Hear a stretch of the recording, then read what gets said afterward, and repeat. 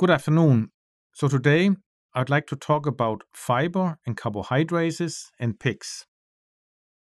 And I hope I can leave you with some take home messages. So, the first take home message I would like everybody to remember is that fiber is really complicated. When we compare understanding fiber to understanding other nutrients such as amino acids or lipids, fiber is much more complicated to understand. And that is one of the reasons that we understand so little about fiber in general. The second take home message is that there are some natural barriers to fermentability of fibers by pigs. And we will talk a little bit about those barriers that are inherent to the different feed ingredients that we use in our diets fed to pigs. The third take home message is that if we are successful in using enzymes in increasing fermentation or hydrolysis of fiber, we most likely need to use mixtures of enzymes and not individual enzymes, or at least it will most likely be more efficient to use mixtures of enzymes. And we'll talk a little bit about that also. And the fourth take home message is that there may be a need for new technologies to generate a breakthrough in the way fibers are fermented and to increase the energy value that pigs get out of fiber. So, these four take home messages will be the main topics of this presentation. Now, when we start by pointing out that fiber actually contributes a lot of gross energy in diets to pigs. And here's an example where we have the gross energy in corn in the yellow bars and in distillers dried grains with solubles or DDGS in the blue bars. And as appears from the left side of the slide, we have almost a thousand kilocalories more gross energy in DDGS than we have in corn. However, once we have fed that DDGS and the corn to the pigs, and we have determined how much is excreted in the feces and how much is excreted in the urine. Then we calculate what is called metabolizable energy. And as it appears from the right side of the slide, there's really no difference between corn and DDGS when it comes to metabolizable energy. So that means that the almost 1000 kcal advantage that DDGS had in terms of gross energy somehow disappeared when it came to metabolizable energy, which is the energy that the pig can utilize potentially for production. So, in other words, the DDGS energy was much less efficiently utilized by the pig compared with the corn energy. And this can also be illustrated in a different way if we calculate the amount of energy that is not utilized by the pigs. And we will see here that in corn, there's 440 kilocalories that were not utilized, but in DDGS, there was 1,345 kilocalories that were not utilized. The main reason we have this big difference in the utilization of energy between corn and DDGS is that we have a lot more fiber in DDGS compared with corn. Corn, the majority of the energy comes from starch, which is easily digested by the pig, and therefore we have only a small amount that is not digested and absorbed by the pig. In contrast, in DDGS, the majority of the carbohydrates are in the form of fiber, and fiber is not nearly as efficiently utilized by pigs compared with starch, and therefore we have much more undigested energy when we feed DDGS. So, this also indicates to us that if we are to improve energy utilization from our feed ingredients, the high fiber feed ingredients such as DDGS has a much greater potential for improvement than the lower fiber diets such as corn because the lower fiber diets are highly utilized in the first place, whereas the high fiber ingredients are not so well utilized. So there is an opportunity to increase the utilization of energy from our high fiber ingredients such as DDGS. Let us look at what is fiber, and to understand fiber, we need to understand what is carbohydrates. And carbohydrates consist of monosaccharides, and we'll talk more about the monosaccharides here in a little bit, because the monosaccharides are the building blocks of all the carbohydrates we have in diets for pigs. from the monosaccharides, we can have disaccharides, oligosaccharides, or polysaccharides synthesized. The disaccharides contain two monosaccharides, as the name suggests, and we have six disaccharides that may be included in diets for pigs sucrose, lactose, cellulobiose, maltose, gentiobiose, and trehalose. All of these disaccharides, as I said, contain two monosaccharides and they are connected via glycosidic bonds. And we have different types of glycosidic bonds that have effects on how well or how poorly these disaccharides are digested by the pig. And the definition of oligosaccharides are that these are carbohydrates that have more than two monosaccharides and they are soluble in 80% ethanol. And we have four groups of oligosaccharides the galacto-oligosaccharides, which consist of raffinose, stachyose, and verbascose. We have transgalacto-oligosaccharides. We have fructo-oligosaccharides that consist of inulin and levans.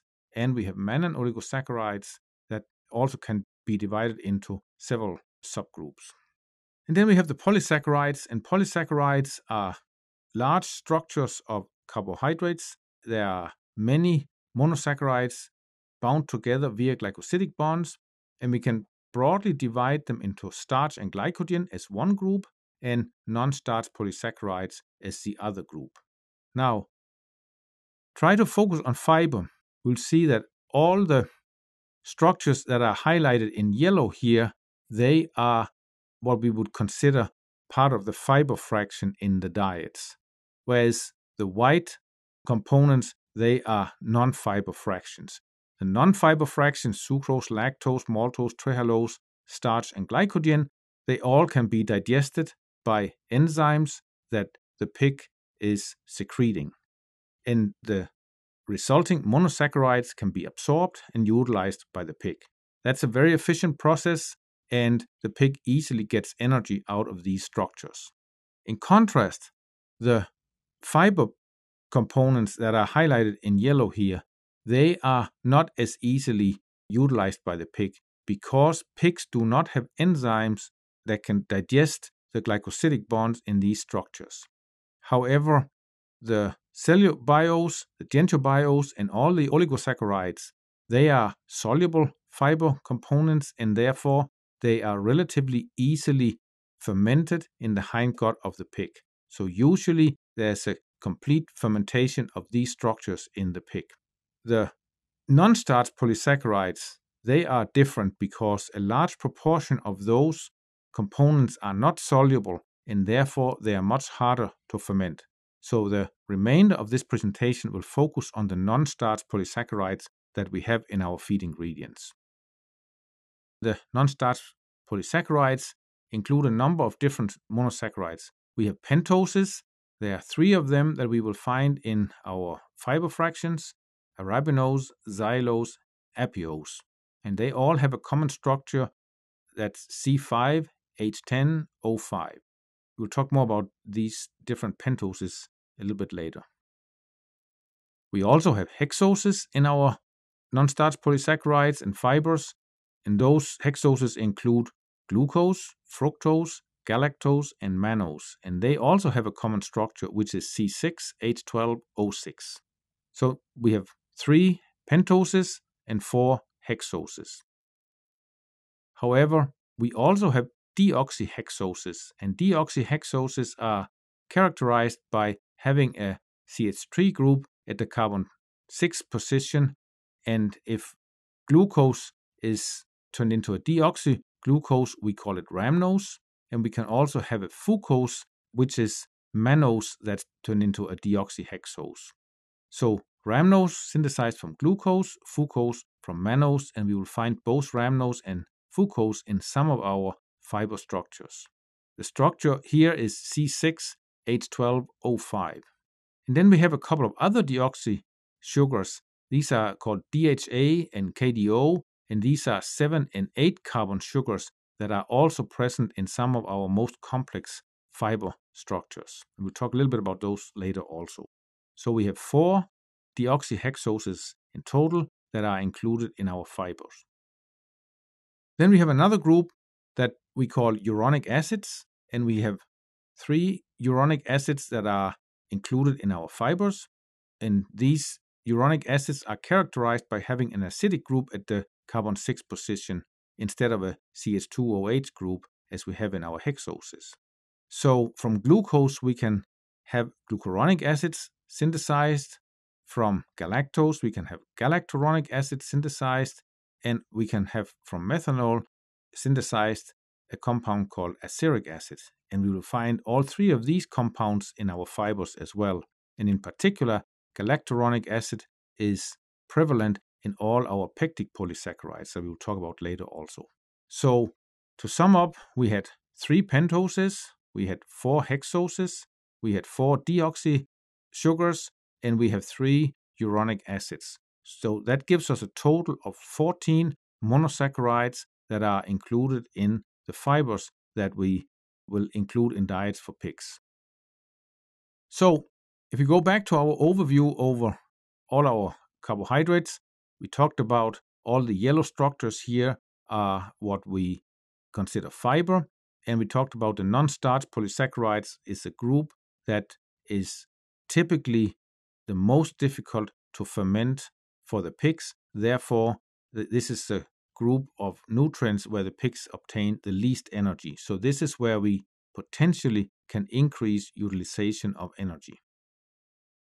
We'll talk a little bit more about the non starch polysaccharides. The non starch polysaccharides include cellulose and it also includes non cellulosic non starch polysaccharides. Sometimes we call the non cellulosic non starch polysaccharides hemicelluloses, same thing. The non cellulosic non starch polysaccharides can be further subdivided into pectic non starch polysaccharides or non pectic non cellulosic non starch polysaccharides. In the non pectic non cellulosic non starch polysaccharides include arabinoxylan, we have mixed link beta glucans, we have xyloglucans, and we have mannans. So this group of non-pectic, non-cellulosic, non-starch polysaccharides include these four components, and we will talk about these later also. Then we have the pectic non-starch polysaccharides, and if we look at those components, we have homogalacturonans, consisting mainly of galacturonic acids.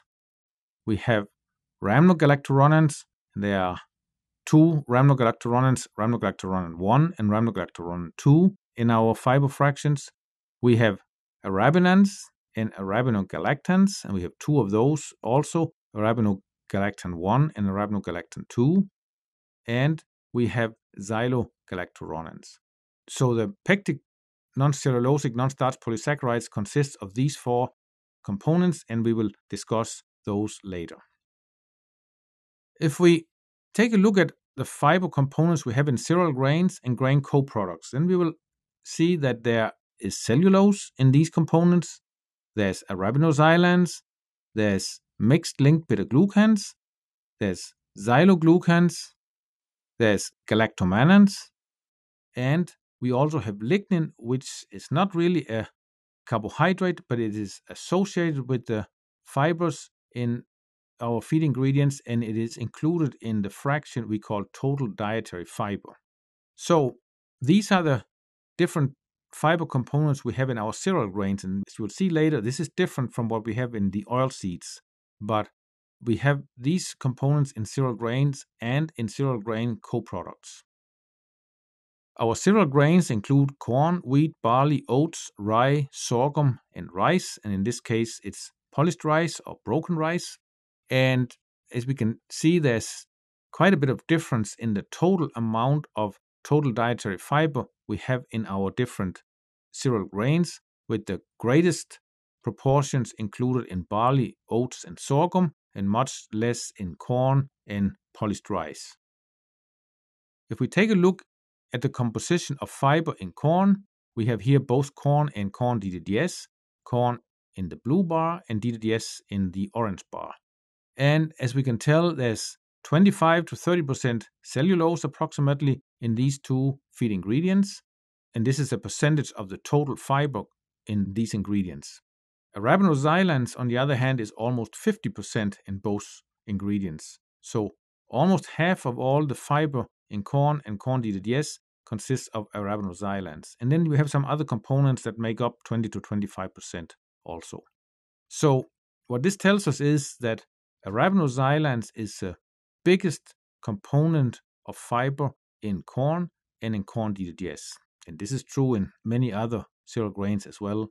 But what we also can see here is that there's very little difference in the composition of fiber between corn and corn DDGS. We have about the same percentage of each component within these ingredients. And what that suggests is that although DDGS is produced after fermentation in the ethanol plant, it appears that the fermentation process in the ethanol plant does not really change the fiber composition, maybe because fiber is not efficiently fermented in these ethanol plants, and therefore we end up with all the fiber in the DDGS fraction, and therefore the composition of that fiber is not different from what we had originally in the corn grain. If we look at all our cereal grains here, and we look at the arabinoxylans we have present here, that's in the orange bars. We also have mixed link beta glucans in some of the cereal grains, and we will see that corn contains very little mixed link beta glucans, but quite a bit of arabinoxylan. Wheat has a little bit of mixed link beta glucans, but also primarily arabinoxylan in the fiber here.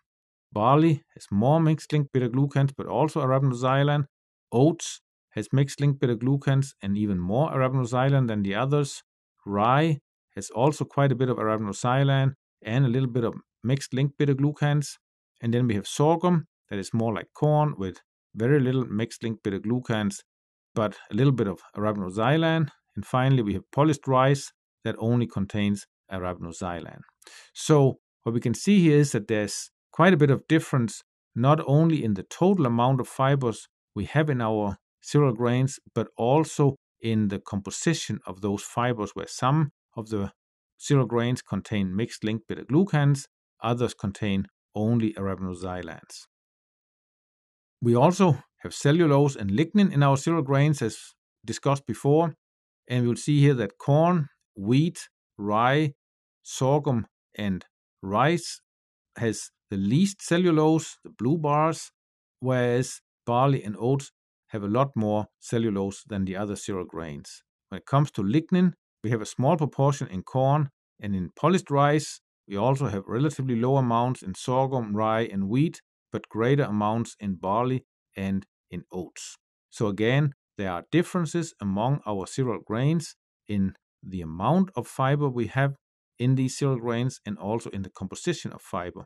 And these differences among the cereal grains will be reflected also in the cereal co-products that we use in our diet, such as distillers grains with solubles, or wheat middlings, or oat brands, or other cereal grains.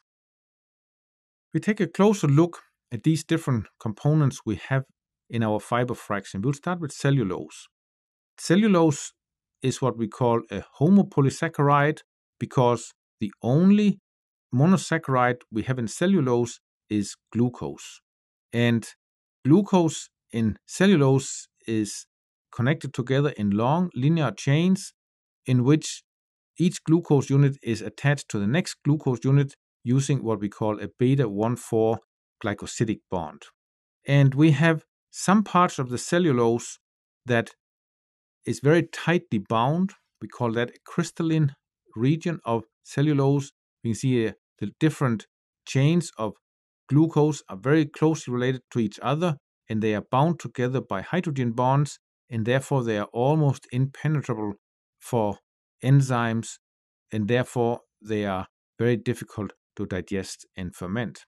However, we do have some portions of the cellulose that is called amorphous cellulose, and in these portions we have the linear chains of glucose less tightly packed. They are not bound by hydrogen bonds to other chains, and therefore there's easier access for the enzymes to digest the glycosidic bonds between the glucose units and therefore liberate the glucose.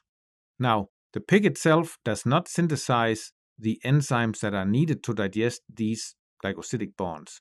However, some of the microbes in the hindgut of pigs can synthesize enzymes that can hydrolyze these beta 1 4 glycosidic bonds. Therefore, they can liberate the glucose in the hindgut of the pigs, and that glucose will subsequently be fermented by the microbes, but they will synthesize short chain fatty acids that can be absorbed by the pigs. The enzymes that are needed for this hydrolysis are endoglucanases and exoglucanases. And the endoglucanases will cleave kind of in the middle of the amorphous region of the cellulose, whereas the exoglucanases will start from one end and cleave off two glucose units. And these two glucose units, or a little bit longer oligomers of cellulose, will then be attacked by a third enzyme that may be synthesized by the microbes. And this enzyme is called beta glucosidase, and that will give the final breakdown of the cellulose structure into individual glucose units. And these glucose units, as mentioned, can be fermented and turned into short chain fatty acids that can be absorbed by the pig. However, because of the crystalline structure of most of the cellulose, fermentation of cellulose is not very efficient in pigs. So most of the cellulose we have in our feed ingredient will pass through the pigs and end up in the feces without being fermented. But there is some of the amorphous regions that will be fermented as indicated here because the microbial enzymes can digest these beta 1 4 bonds. But in general, cellulose is poorly fermented by pigs. Now, if you look at mixed link beta glucans that we had present in some of our feed ingredients, you'll see mixed link beta glucans, they also consist only of glucose as the only monosaccharide. So they are also homopolysaccharides. However, the structure is a little bit different here compared with cellulose, although both cellulose and mixed link beta glucans consist only of glucose. Some of the regions of mixed link beta glucans have glucose units bound together by beta 1 4 bonds, exactly like in cellulose, but approximately 30% of all the glycosidic bonds are beta 1 3 glycosidic bonds instead of beta 1 4 glycosidic bonds. And that beta 1 3 glycosidic linkage induces a kink in the chain, so we don't get these long linear chains of glucose bound together.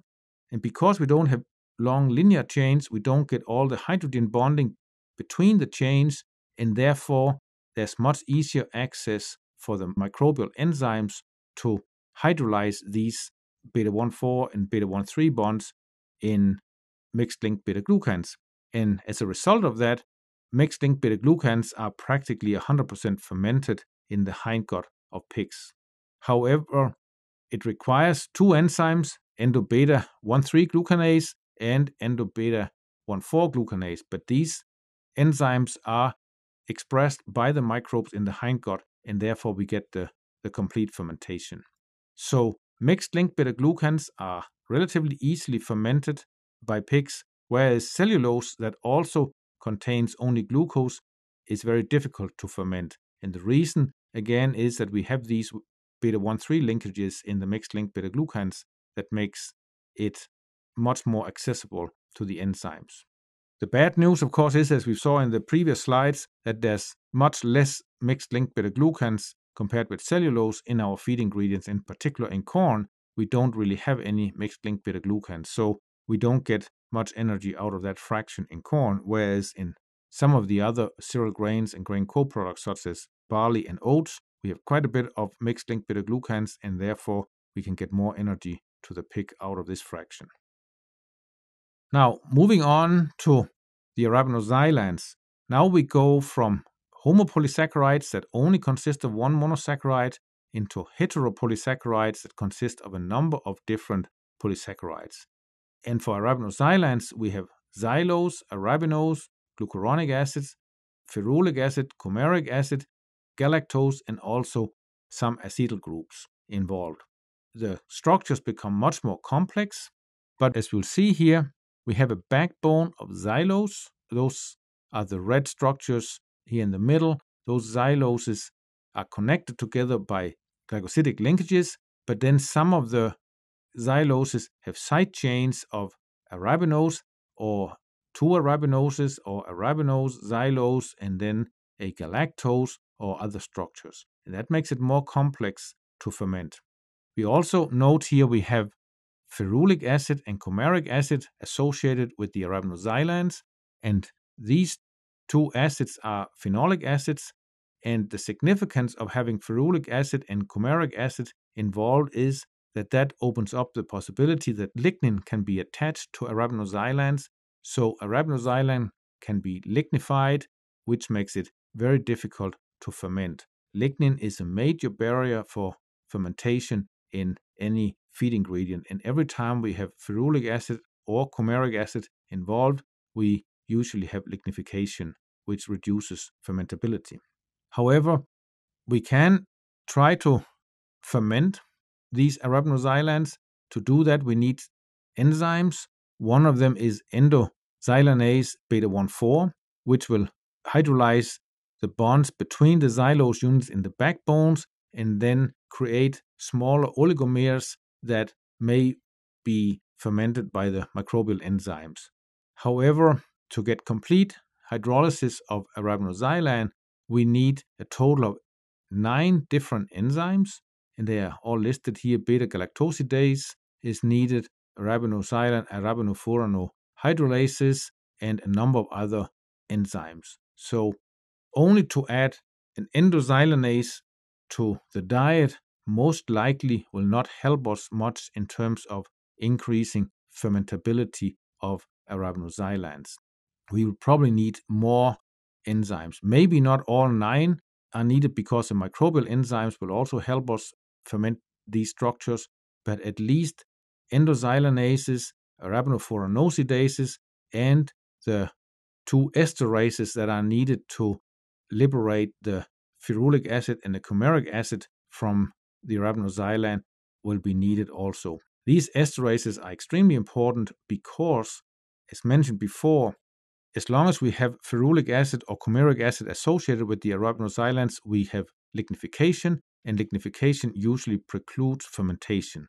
But if we could include esterases that can cleave the bond between the ferulic acid and coumaric acid and the other structures in arabinoxylan, then we could delignify the arabinoxylans and therefore increase the chance of getting the rest of the molecule fermented by microbial enzymes.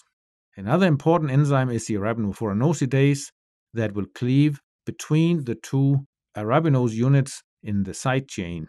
And that enzyme is important because it is believed that if there's only one arabinose attached to the xylose, then the microbial enzymes can usually ferment the rest of the molecule. But as long as there are two arabinose units attached to the xylose, the microbial enzymes cannot ferment this structure.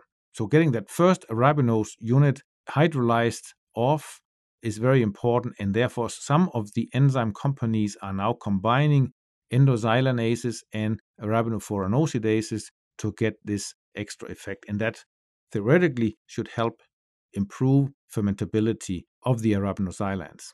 Bottom line is we have a lot of arabinoxylans in our cereal grains and cereal grain co-products. It's by far the most prevalent fiber component and complete hydrolysis of this component is pretty complicated and we need nine different enzymes. Some of them can be synthesized by the microbes in the hindgut of the pig, but we probably need to include some of these enzymes in the diets.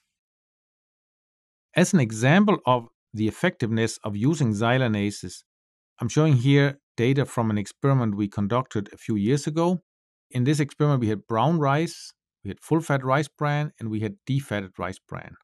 And the blue bars here indicate these ingredients with no xylanases, and the orange bars indicate these ingredients with 16,000 units of xylanase. And as we can see here, there was no effect of xylanase for the brown rice. And that's not really surprising because brown rice primarily consists of starch and there's only minor components of arabinoxylans here. However, full fat rice bran and defatted rice bran are produced after most of the starch has been removed, and therefore we have much higher concentrations of arabinoxylans in these two ingredients.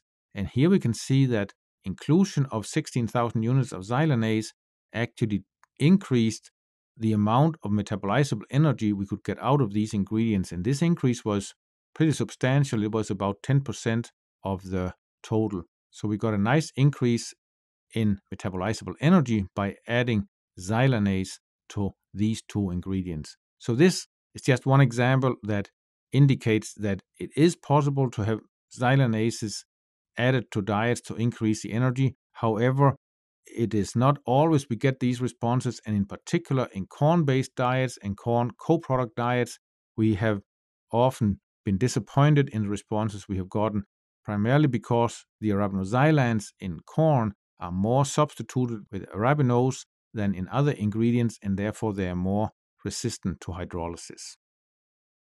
So, if we conclude for cereal grains, to really increase energy value from cereal grains, we should focus on the arabinoxylans because arabinoxylans are present at 50 to 60% of all the fibers in these ingredients. So, this is true for both our cereal grains and cereal co products. The objective of adding enzymes to these ingredients is not to obtain complete hydrolysis in the small intestine because if we have complete hydrolysis of arabinoxylans in the small intestine, we will liberate xylose and arabinose. They can be absorbed from the small intestine, but they are not easily utilized by the pig. So most of them will be excreted in the urine, which means that the pig will not utilize the energy from those components. So instead, we want the enzymes to work in the hindgut where they can contribute to breakdown of the arabinoxylans and then the microbes synthesize short chain fatty acids from the units that have been generated by the enzymes.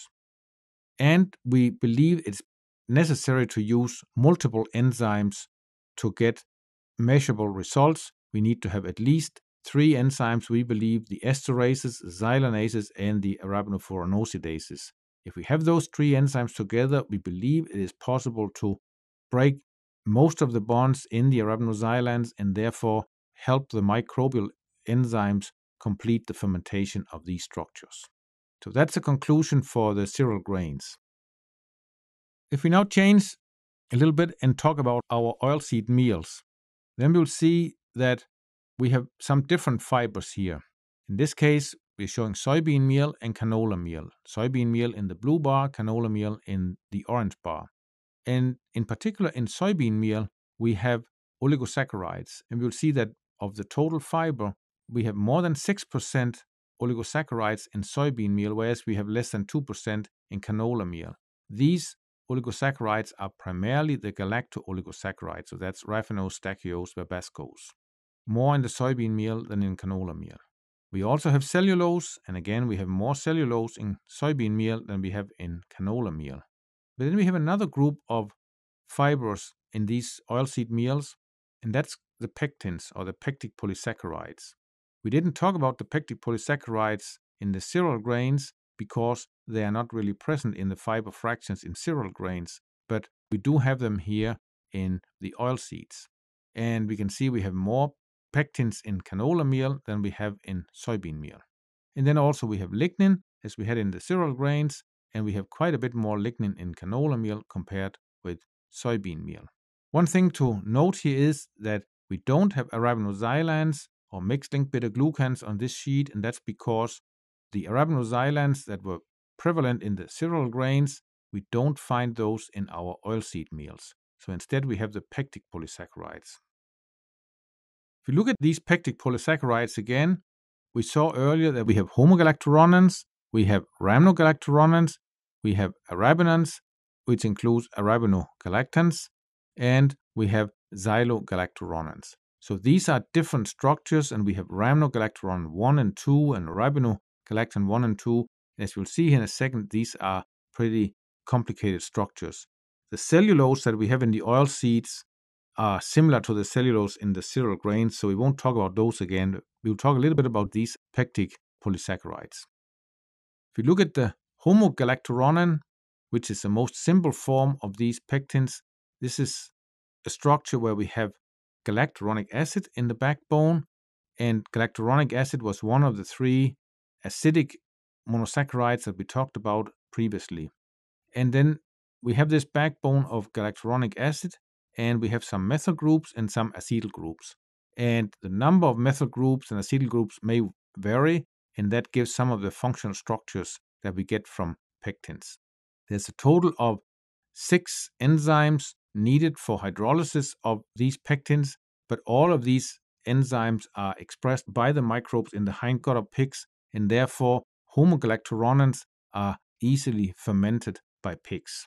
However, we don't have much homogalacturonan in our typical feed ingredients. We may find some if we feed sugar beet pulp or citrus byproducts, but other than that, we don't find a lot of homogalacturonans in our feed ingredients.